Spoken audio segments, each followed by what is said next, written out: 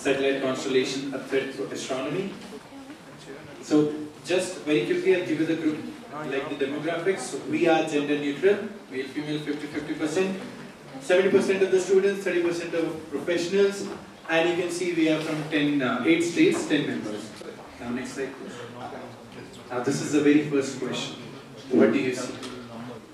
I'll just start it with when the space treaty came into action in 1967. We just thought that it's for the human presence in space. We never thought that the human-based objects presence what will do it to the space, and that's why this question is very important. I mean, you already know about these existing laws, so but still no uh, action. So this is one of the solutions that we are proposing that there has to be a certification, there has to be a license thing by the astronomers before launching these satellites.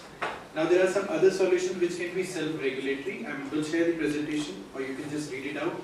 Simply like communication between astronomers and the community and the industry should be stronger. Some ISO like regulations should be more promoted. Please. And these are the best guidelines that we recommend to all of you, to all the community. That uh, the, the best ones uh, would be that space objects must be registered by operating state as per registration convention they should have the liability of it as well. I mean, I mean, if, even if it's 10, less than 10 centimeters, it's still their liability. And then the certification is there, of course.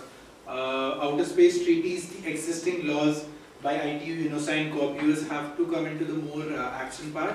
Uh, we can incentivize the astronomers' uh, contribution that we are giving. And the final thing is that we are also proposing a fund for astronomers in the community. Next slide, please. Now, these are the questions that we want to pose to you, to the audience, as like uh, some of the questions that we came up with, you what can be the next part. Of course, debris is a problem, and then we're trying to solve it, and radio frequencies, and then the loss. So, how removal of satellite constellation can create opportunities for us, for the common people, not just for the scientific community. How? I mean, the certification cannot just be a single part. Every satellite is unique, every satellite is different, so how are we going to certify that? And the final is, uh, what is what will be the role of the nations who are not actually leaders or uh, contributors into the space, uh, I, I, would say space race, let's say. So these are the questions. Thank you so much. We are open for question and answer. Our team is here.